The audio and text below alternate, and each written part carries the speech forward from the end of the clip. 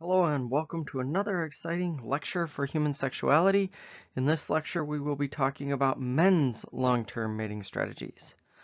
So we're going to look at a few different things, things like benefits of long-term relationships to men, issues relevant to preferences, so we're going to look at reproductive value. We talked about that with women, but now we're going to look at it with men because it's a bit different when we talk about preferences. One of the main things we're going to look at is reproductive value. We'll look at reproductive value versus fertility, beauty in the eyes of the adapter or adapta adaptations in the eyes of the beholder. We'll look at waist to hip ratio. We'll look at foot size, bilateral symmetry, current ovulatory state. There's some fun stuff there. Um, we'll look at some issues relevant to preferences. Paternity uh, certainty is a big one. Um, we'll look at similarities, differences, and trade-offs in the real world um, some conditional mate preferences, and finally, evolved mating psychology in modern societies. So we have to ask ourselves an important question. We talked about women's long-term mating strategies, and we talked about how in many species, and in, in pretty much all species, the, the female has the larger initial investment, the male the smaller. And in most species, that after that initial investment, the, the reproduction, um, the, the, the reproductive act, the males are no longer involved.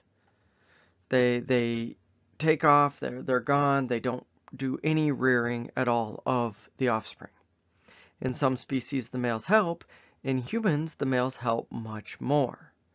So when we look at that, we talked about some of the evolutionary advantages or evolutionary pressures for men to be more interested in short-term mating than long-term mating.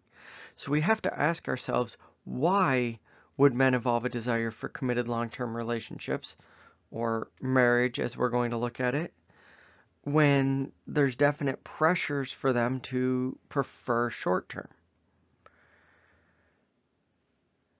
Relating to that, um, long-term, mostly exclusive. There's no such thing as exclusive relationships in the animal kingdom, by the way. All species of animals that are supposed to be mate for life type of thing, infidelity occurs. Um, it's documented, it's noted in all species that have uh, these exclusive lifetime partners, the infidelity occurs in all cases. Not in all individual cases, but in all of these species. So in long-term exclusive relationships, it's only found in about 5% of mammalian species, and they're actually especially rare in primates. So marriage isn't the inevitability of evolution. And as we had said before, the, the male has, there's costs to, to marriage. Um, less opportunities to, prefer, to pursue short-term relationships and then they're required to provide resources for the spouse. So these are, are drawbacks to long-term relationships for men. So what are the benefits? That's the question we have to ask ourselves. What does a male gain for long-term relationships? We're not asking this in the, the philosophical sense. We're, we're not asking this to, to bash on marriage or anything like that. We're asking it from, from an evolutionary perspective if there are benefits to not being in a long-term relationship, if there are drawbacks to being in a long-term relationship, for the behavior to have evolved, there has to be some benefit. So we, we look at this. Why would a men evolve a desire for long-term relationships? Well, to attract a, a female of the species. So for humans to attract, attract a woman. And this comes down to it's woman's preference to find a long-term partner. So for men to find a partner, period, they they have to go with a long-term partner because that's what the women are looking for. To attract more desirable women. So um, even if not all women are looking for long-term partners. Typically, the only ones looking for short-term partners other than the ones that are looking for short-term partners that already have a long-term partner that are doing cuckoldry. We'll get to that later. But the women who are only who aren't looking for long-term partners, they tend to be less desirable. And we'll come back to that later when we're talking about um, mate value. To increase the odds of paternity. So if you have species where um, many males are are performing reproductive acts while a female is is fertile, then there's paternity uncertainty there because there's chances that that it that wasn't the offspring of the male. If there is long-term committed relationships, it is much more likely that the reproductive act that the children that are come from from the reproductive acts came from the male in the long-term relationship. That's not the, always the case, but it's a higher likelihood. Here's a big one, to increase survival of children. So humans have this long-term uh, development phase. If they've got two parents caring for them, their survival increases. Well, again, evolutionarily, we one thing I, I had said was evolution is concerned with survival and reproduction, but actually evolution is also concerned with and just as concerned with uh, in survival and reproduction of offspring. If you have kids, if those kids don't go on to reproduce, then it doesn't matter. You, you, your genes only went one more generation. So we've got selective pressures to, to basically do things that would increase our children's chances of surviving and reproducing. And along those same lines, increase reproductive success of children by having a father who is dedicating resources to to the family unit, then those children grow up with more resources themselves, then they are more likely to to form relationships. Increase alliances through wife's kin. So we, we are a social species. So things that we can do like have alliances, form alliances through these long-term relationships actually aid us in, in these social outcomes, which can have a net benefit. And the final one is increased social status, and this goes back to all the different things. So let's look at some problems. So some problems when it comes to these long-term mate selection. When males are selecting a, a possible long-term mate, one of the problems is selecting a mate who has the capacity to bear children. Um, we're not looking at female preferences now, now we're looking at male preferences. So in males, one of the ad adaptive problems that arises is selecting a partner who has the capacity to bear children, especially if a male is limiting themselves in reproductive opportunities by getting into a, a long-term relationship, they there there is less potentially less opportunities for them to have short-term mating, then they should be seeking out a partner who has a high chance of reproducing themselves. And what ends up happening here is the solution is a preference for qualities that are correlated with reproductive value. In just a minute, we'll talk about what reproductive value is, but reproductive value is essentially going to be the, the capacity to bear children. And what is um, qualities that are correlated with this? Youth. As people grow older, their capacity to bear children goes down. Youth to a certain extent, obviously. Uh, has to have reached reproductive age and not just reach reproductive age, and we'll talk about that in in a second when we talk about some things there, but not just reach reproductive age, but reached a point where chances of getting pregnant and having successfully having children have risen. So even someone who has reached a girl who has reached puberty but hasn't fully developed yet they might be able to get pregnant, but their chances of successfully having children are lower. So the preference should be a bit older than that to the point where now their, their chances of successfully having children are higher. And health. So health is a, another big one because people that are unhealthy are less likely to get pregnant and have children, successfully have children. So what age should men find the most attractive? And um, basically, there is some differences here, uh, but what we're, we're looking at is the, the giving birth. And what age should men find women the most attractive? It should be the age where they have the capacity to give birth and successful birth. Um, we do have changes over time in when women are actually giving birth.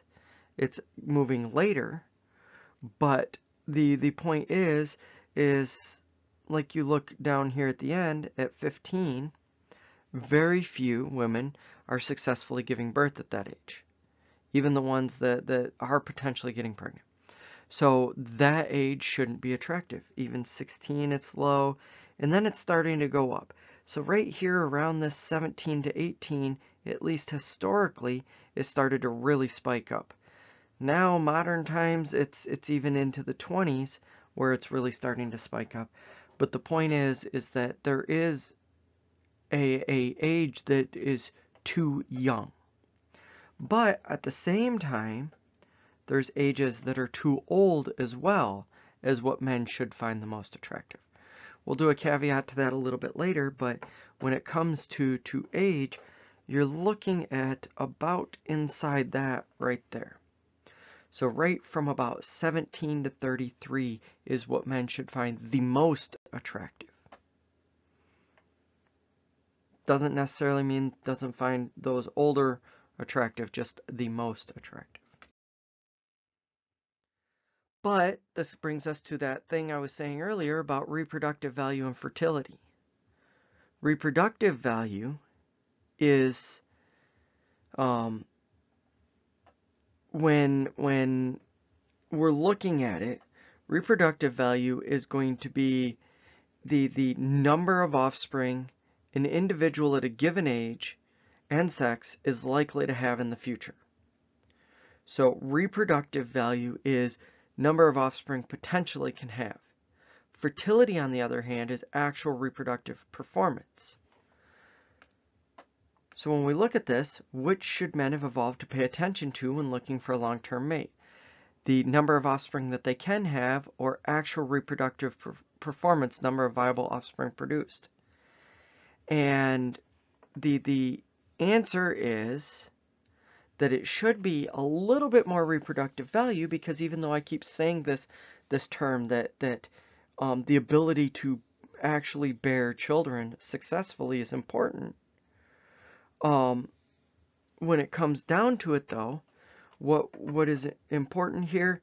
It's that that the number of future offspring, but you have to balance it with ability to produce. So which one should they have evolved to pay attention to? A little bit of both, a mixture of both.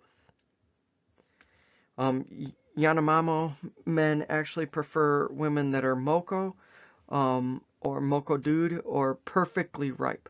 Those that have reached an age where they can have the the the basically they they can successfully have children.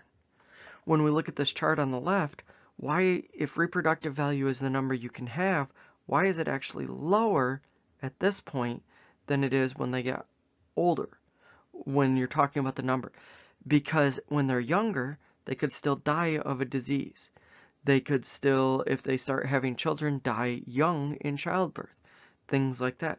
So it doesn't actually peak here until you're looking at about 18 to 19, where reproductive value actually peaks.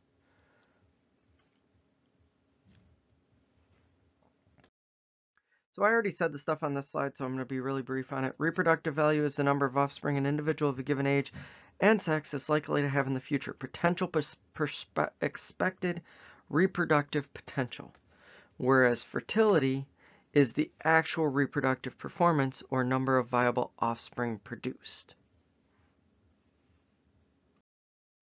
So if age is a very important component of what men look for in women, uh, how is that how can they tell that? How can they figure that out?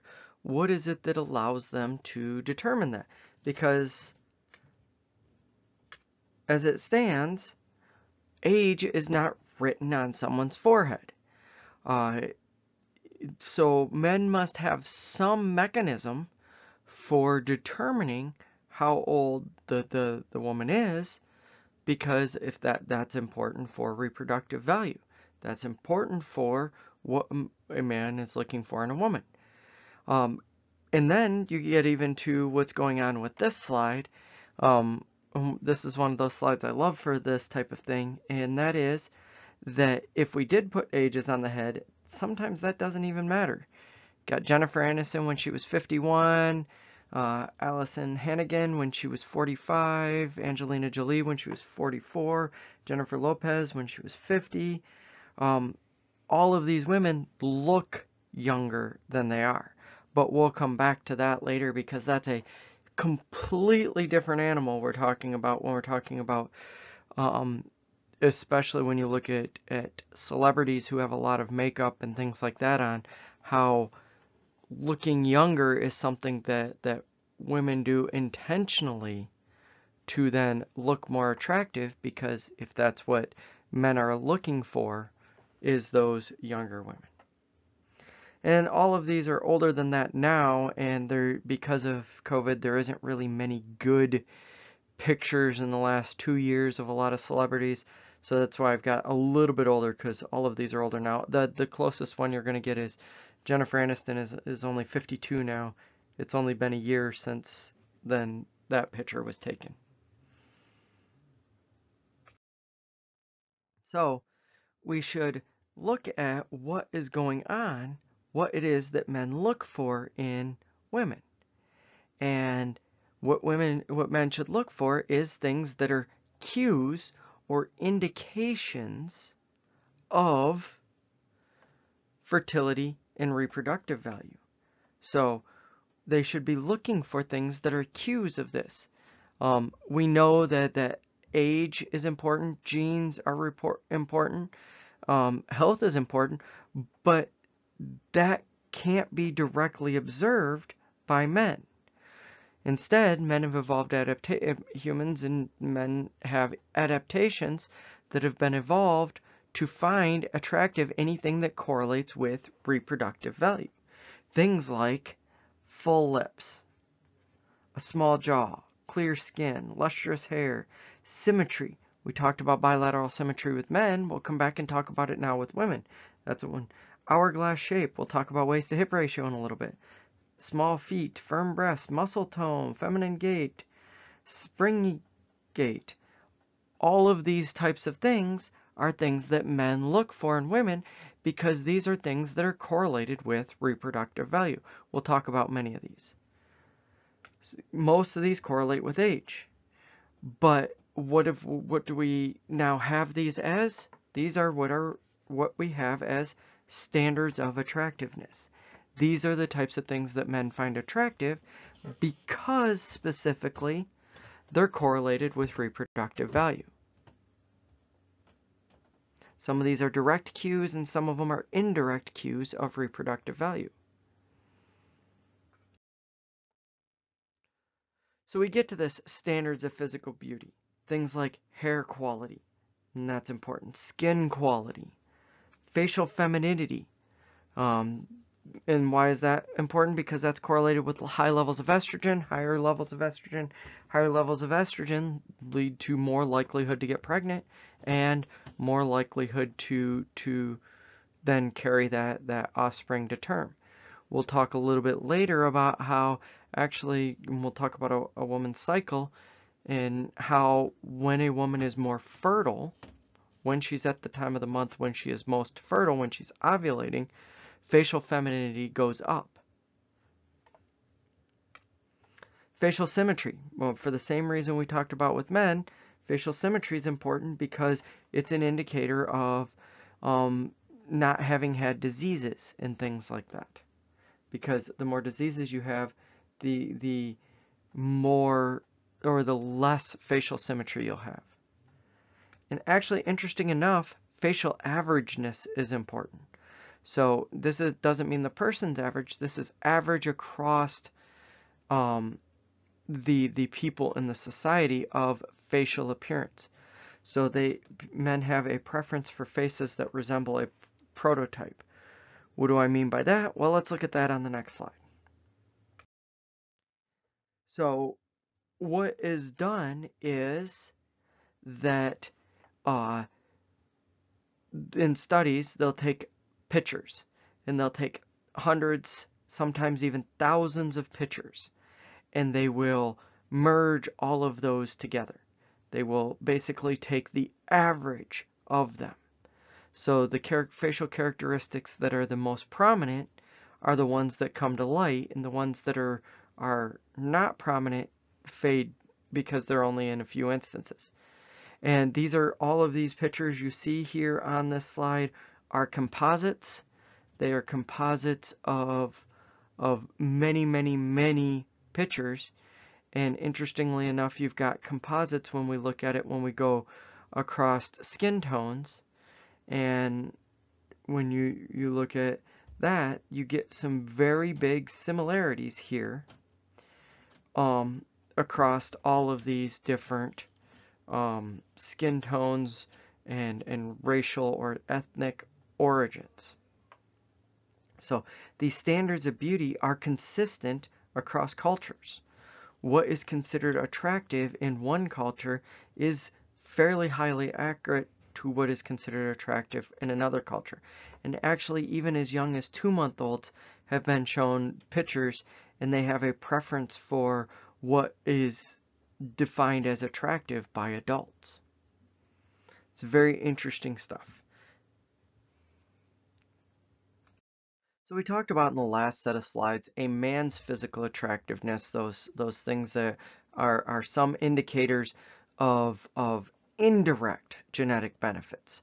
A, a man who is more physically attractive tends to be more fit. One who's more fit then can gather better resources, obtain better resources, give protection, pass on those genes for being attractive to offspring.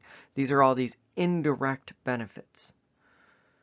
Whereas with a female, physical attractiveness indicates her ability to provide both indirect, some of those like pass on genes, stuff like that, but also direct res resources.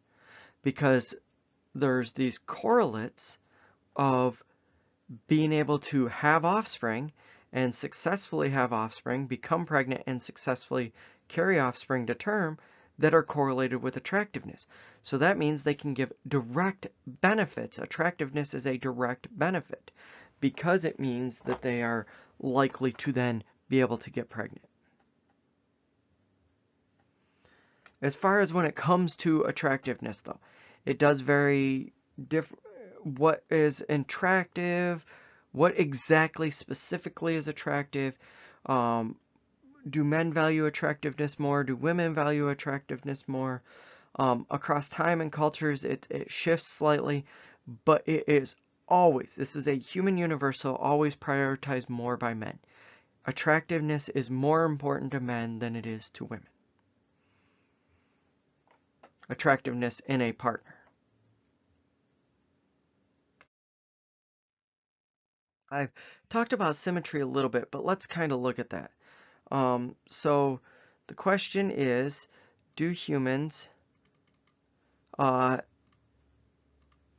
do humans use body or facial symmetry as a cue to good genes? And there is evidence that more symmetrical people generally have more favorable environments during their development and enjoy better health as adults.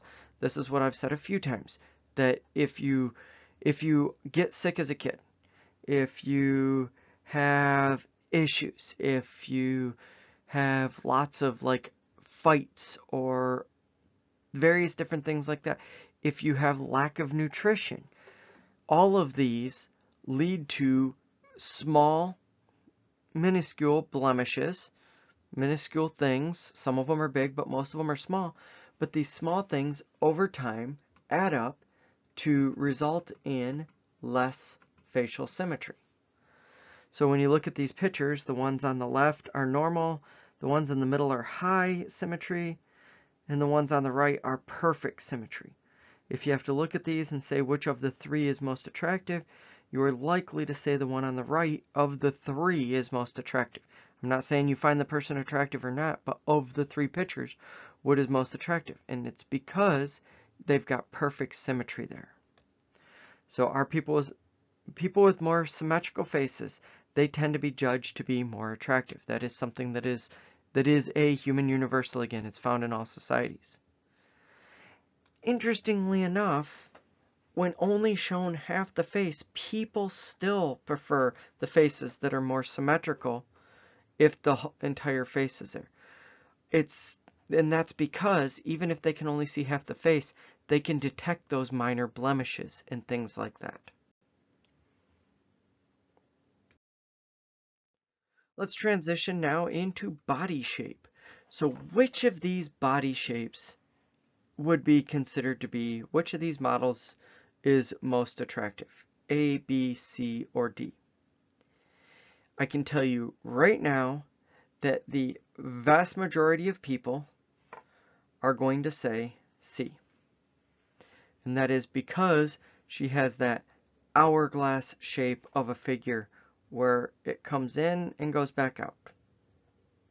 There's somewhat in D, so D is going to be also considered attractive, but there is more of an hourglass figure in C, and actually, when you look at her C's waist size to her hip size, you're going to, if you did a ratio of that, you would find that the waist size is 0.7 of her hip size. The ratio of her waist size to her hip size is 0.7. That is a the, the magic number in humans of ideal waist to hip ratio.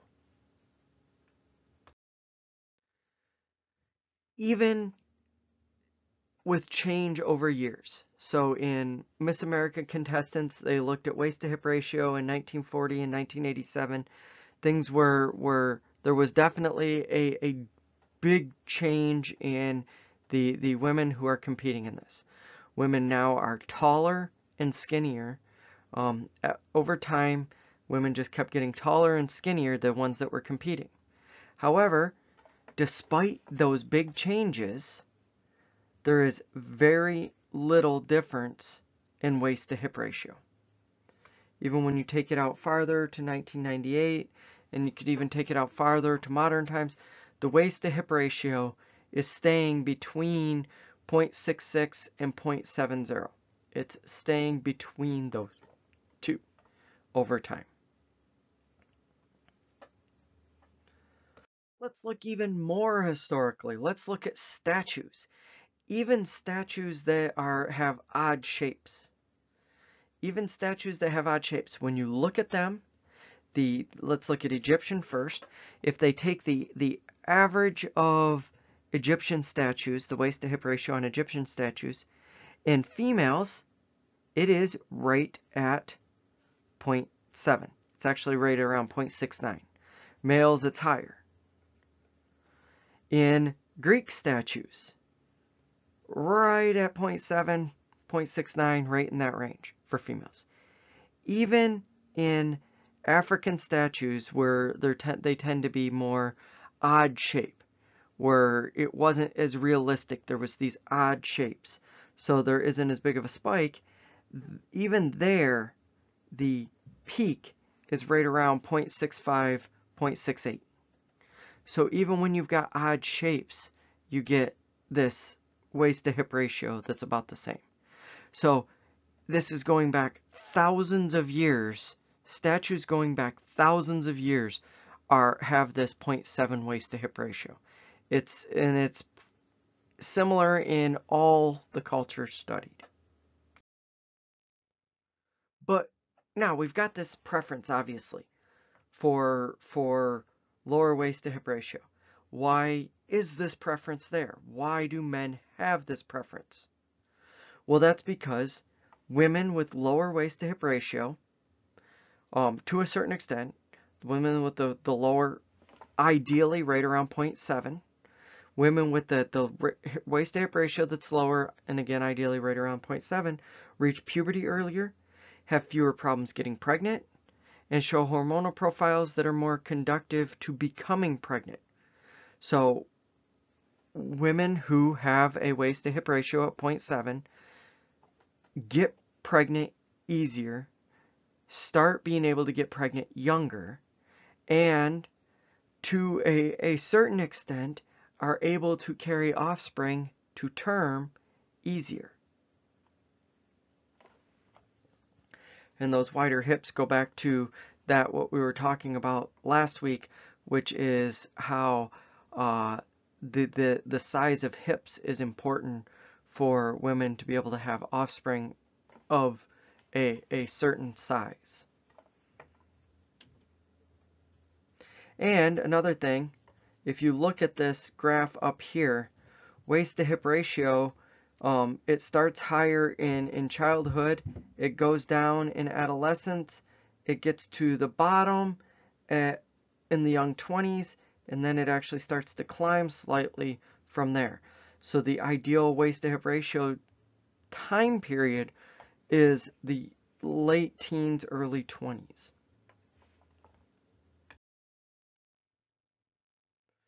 So we've talked about this this um, bit about um, waist to hip ratio. But now let's actually talk about something else. Let's talk about ovulatory state because ovulatory state is important. Why is it important for long-term relationships?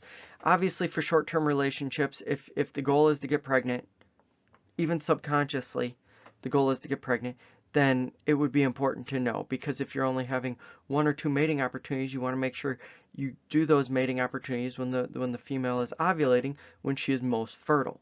Ovulation is when a female is most fertile. Why is it important for long-term relationships though? Well, long-term relationships, there's there's still this drive to to reproduce, but another big thing for men knowing ovulatory state, it's important for mate guarding, mate retention tactics. It is more important to uh, mate guard when a, a male, it's more important for a male to mate guard when their female is fertile because then it's it more assures paternity. So men in long-term relationships should care about a woman's ovulatory state because men first should copulate more when when their mate is more likely to become pregnant. And second, men should guard their mate more when she's more likely to become pregnant to prevent her from becoming pregnant with someone else. Again, we're not talking about the ethics of infidelity here. We're not talking about the ethics of cuckoldry. We're, we're, we're just talking about the fact that infidelity does occur. It does occur in humans. It's actually quite prevalent. But the, the point is, is that if infidelity does occur, then men should do things to, to guard against their partner being unfaithful when they are more likely to become pregnant. There's also mate guarding that women do too. We'll talk about that later. And, and they should mate guard as well, but right now we're just talking about men's preferences. Are men sensitive to ovulatory state, ovulation? Um, well, let's look at a, a, a few different things here because it's actually important for if it's not, it is important, if it's important for men to uh, copulate more when the, the woman is in, uh, is fertile and to mate guard more, then the, the men should have evolved mechanisms to detect ovulation. Humans are one of the few species that, that have concealed ovulation. We have concealed ovulation. Women have evolved concealed ovulation because of a few reasons. But one of those reasons is so that if they are seeking out better genes for short-term partners, which is something we'll talk about next week, then they, they can conceal it from their partner better. And the other one is um, concealed ovulation is in order to gain resources because if the male isn't doesn't know when the, the female's ovulating, then he's more likely to donate and dedicate resources throughout the cycle rather than just at the period of time of ovulation. But let's look at some of the things that do occur during ovulation. When women are, are ovulating, their sexual desire increases. Um, actually, when women are ovulating, they they walk different. They show more of a feminine gait. They tend to dress different. And I'm not saying, not getting into all of that, just pointing out that women who, when they're ovulating, tend to dress in more what would be considered classically as seductive clothing. Um, so when it comes to that, there are things, changes in females' behavior when they're ovulating. Because there's changes in females' behavior, men should then be able to, to evolve ways to detect this.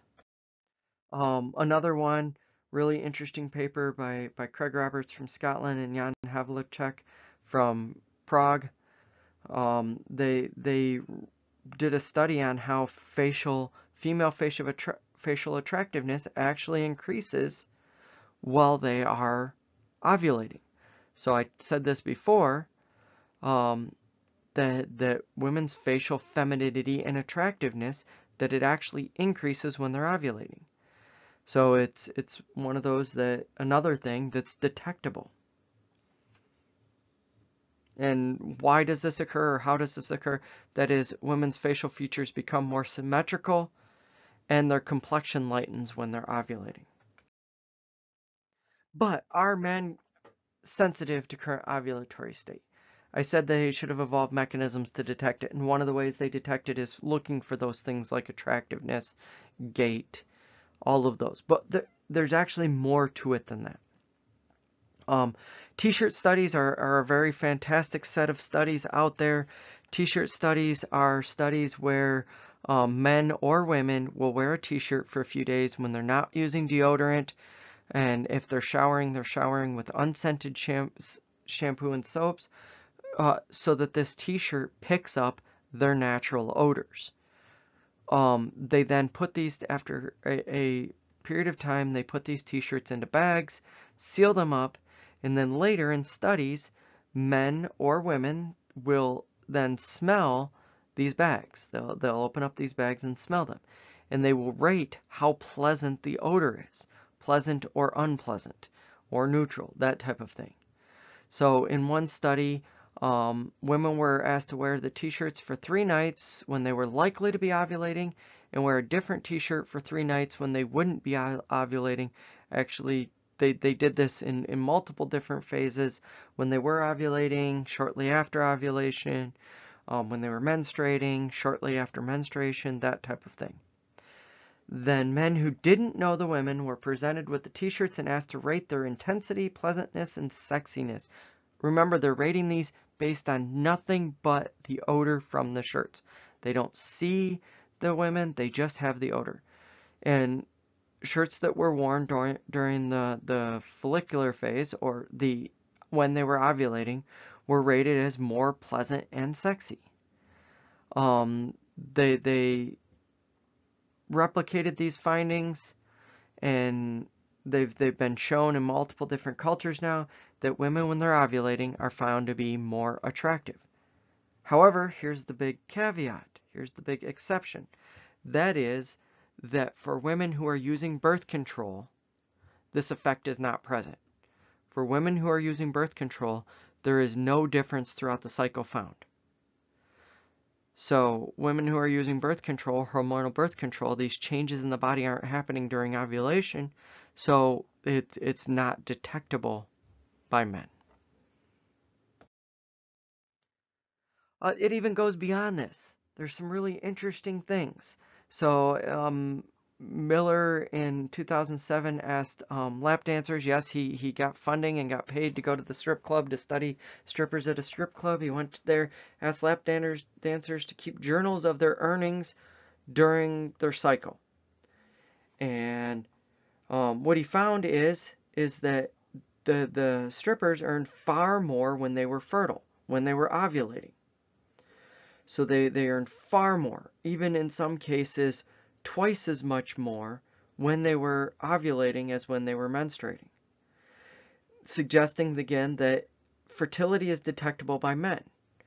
There's other things that could be going on here, such as that women who are ovulating could be, again, doing things that elicit more tips. Like I said, it, women who are ovulating tend to to um, have more facial attractiveness, but they also tend to dress in different ways, walk in different ways, things like that. So men are likely detecting all of these different things, and what it comes down to is men tip more when women are ovulating. Just like with the shirt studies, though, women who were on birth control showed no significant change throughout their phase, so they did not have this spike when they were ovulating, when they were fertile. Again, interesting stuff. The other end of detecting um, ovulation is for assurance of paternity. So men seem to have some information about a woman's likelihood of ovulating. Um, it's not complete though because again, women have, have evolved concealed ovulation men are, are, are co-evolving, detecting ovulation. It's, again, the Red Queen race where both are, are evolving and co-evolving. Um, but the, the, the information that's there is important to men. And even in primate species where ovulation is truly advertised, females will often mate with several different males during the period when they're likely to become pregnant. Um, so males will, even when it's present, but definitely when it's not present, will will try to monitor a mate to see if she copulates with another male, because it's it's important to to basically guard against infidelity. But in humans, where the males help raise the offspring, it's even more important because cuckoldry is something that is very costly to men. Cuckoldry is where a male raises another male's offspring, usually not knowing. It's very costly because they're putting all their investment and resources into a male that is not genetically their own. We have ways around this in society because we do adoptions, things like that. We can circumvent this, the, this feelings of, of cuckoldry, but at the same time, it is very important evolutionarily, so we have strong, basically motivations to prevent it. We do have, though, a sexual division of labor, labor um, it, especially when these behaviors evolved. Men can't be vigilant constantly to to make sure that the, the, the woman is not having sex with a different male. Um, the males have to um, gather resources. They have to hunt. They have to do things like that. So it does come down to how can a man assure his paternity? What are things he can do? One thing he can do, besides these, these methods of mate guarding, like I said before, is do things like what does the child look like? So in the delivery room and in the first few months of life, what is the one of the, the most interesting findings that I find about this, about newborn babies, is that more remarks are made the child looks like the father than the mother. This is might be like, okay, well, what's the big deal there? Well, first off, you've got more re remarks that are that are saying the child looks like the father. That is, that that people are trying to get the the father to think, okay, well, that that child is mine because he looks like me. But if that's the case, then who should be the ones saying this? Should it be the father's family or the mother's family? that's more likely to be the one saying that. If you guess that it should be the mother's family, you are correct. More remarks are made by the mother family of the mother than the family of the father.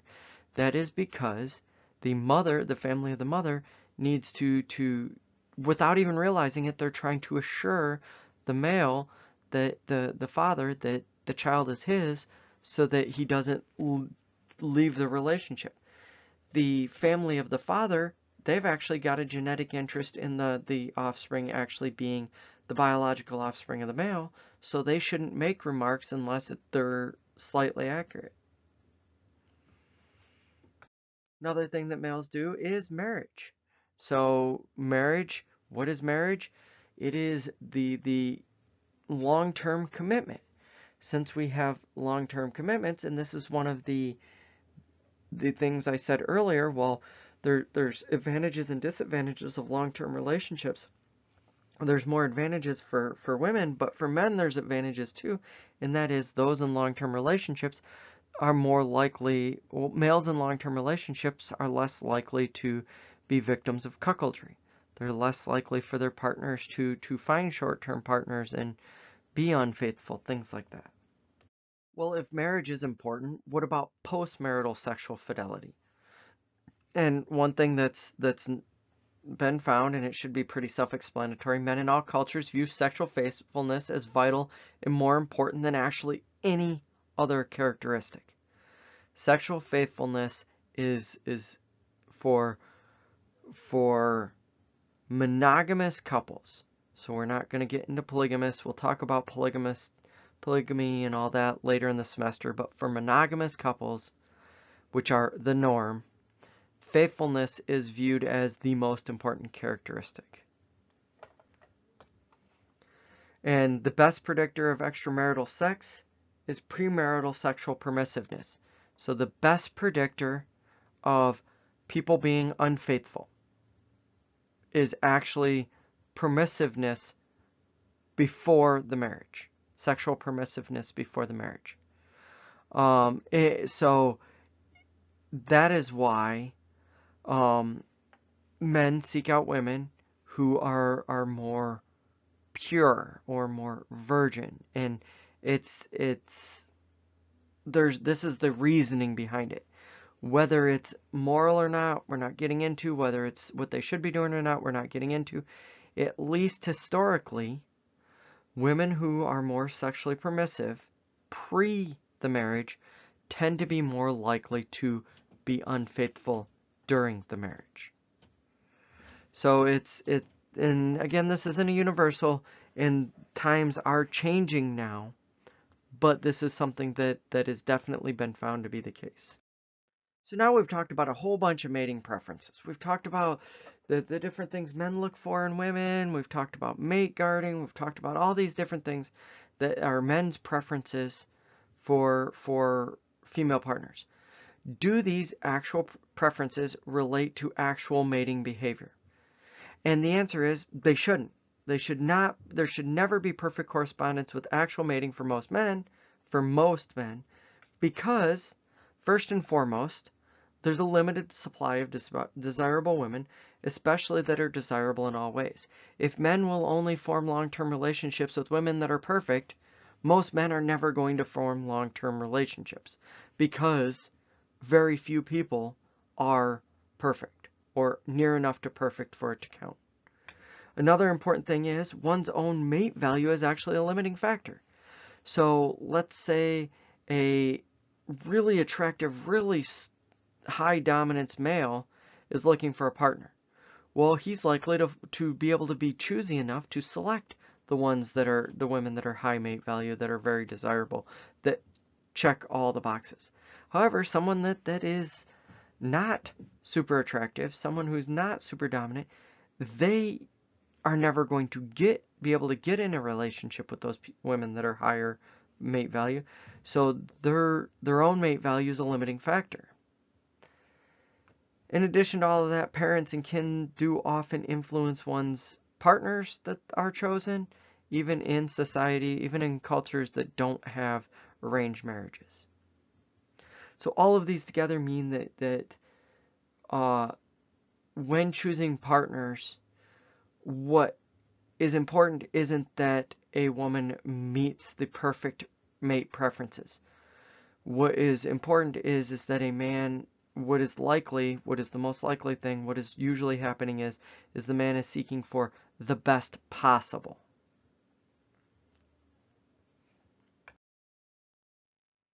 Let's look at some conditional mate preferences. Since we've talked about all these preferences that are out there, let's talk about some conditional. How about the effects of men's mate value? I kind of already talked about this, but what about men who are high mate value themselves? Well, like I said on the previous slide, they tend to be more choosy and more discriminating. However, They also tend to have more partners, either polygamous, polygamously or through serial monogamy where they've got one partner than another. They also tend to be more likely to be unfaithful because many, many women are seeking them out for short-term mating opportunities. And we'll talk about this a little bit later in the next set of slides when we're talking about short-term mating. What would be the benefits of a high mate value man who ends up with a very attractive partner and she she just hits all of those check boxes. Why would he ever be unfaithful to her? Well, again, this goes back to evolution and there's a strong evolutionary selection pressure on men engaging in short-term mating even if they're in a long-term relationship. So one of the issues, though, is that this issue of EEA that I've talked about, the era of evolutionary adaptiveness, the environmental mismatch, when these behaviors evolved compared to now. Um, many of these evolved preferences served us do serve us well today, but some don't. Um, having super strong concerns about attractiveness when living in groups of 40 to 200 was likely adaptive. You you sought out the the most attractive you you could find that was available that would um, become a partner with you.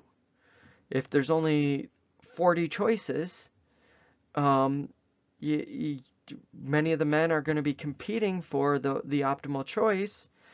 Um, and even in, let's say you're in a group of 200, and let's say um, 100 of those are, are even 100 are of age of young reproductive age. Let's but let's even get down to 50 because that's more likely to be the case. Young reproductive age, single or new in relationships, that type of thing. There's only about 50. That means for a male there's only going to be about 25 females, roughly. So that's only 25 that he has to choose from. So seeking out the one that's the most attractive, you could be trying for that, find out no, she's already she's she's got suitors that are, are way better than me. Going down the list until the, the right one is chosen. Um, but that, that works out great then. Today, though, we, we live in societies where we've got television, we've got advertising, we've got magazines, we've got the internet. We are bombarded with images of women who are highly attractive. And for men now, it's not just a matter of selecting the best one, uh, and our standards of attractiveness are raised up beyond what they should be because of that. So when making attractiveness judgments, we may often find ourselves comparing our potential or current mates to unattainable, unrealistic standards. Um, Kenrick actually found that when men are exposed to pictures of highly attractive women, they rate their own partners as less attractive and indicate that they are less committed to them. So this is one of those big environmental mismatches that can actually lead to things like infidelity and, and disillusions of relationships because of these unrealistic standards.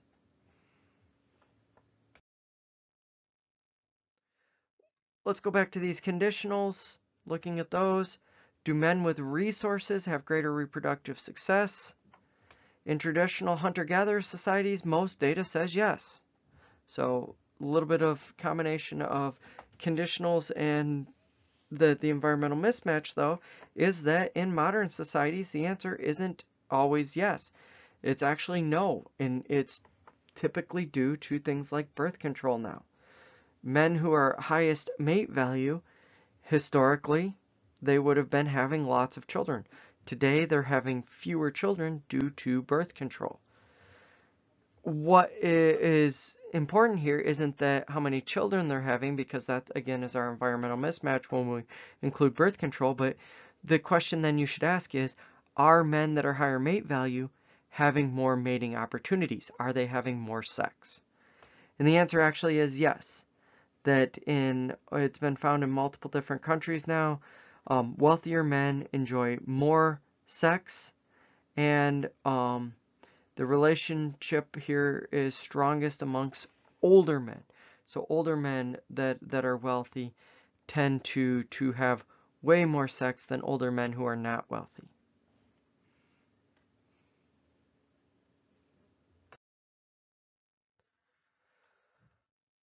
So let's throw it back to women then. Um, so men have these mate preferences. Men have these mate preferences for for for look for certain things in women. So then what are women doing to compete to be chosen by men? I talked about before um, with sexual selection how in most species men do the competing, women do the choosing. And in humans, that is generally the rule. Men compete to be chosen by women. However, in humans, women also compete to be chosen by men, especially when you're looking at men's mate value as important, um, especially when you're looking at long-term partners. So if women are, are competing to be chosen against men, what do women do to compete? Well, one of the most important things, the top thing, is appearance. Because appearance is the one of the top things that men are looking for. There's deceptive tactics that occur that women do while competing, especially regarding appearance.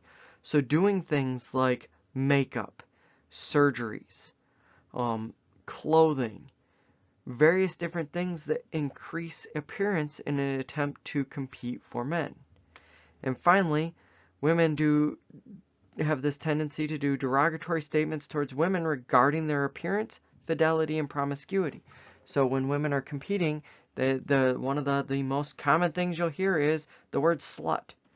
That's that is an insult designed to indicate that the other person is promiscuous, that the man shouldn't choose her because she is she is promiscuous.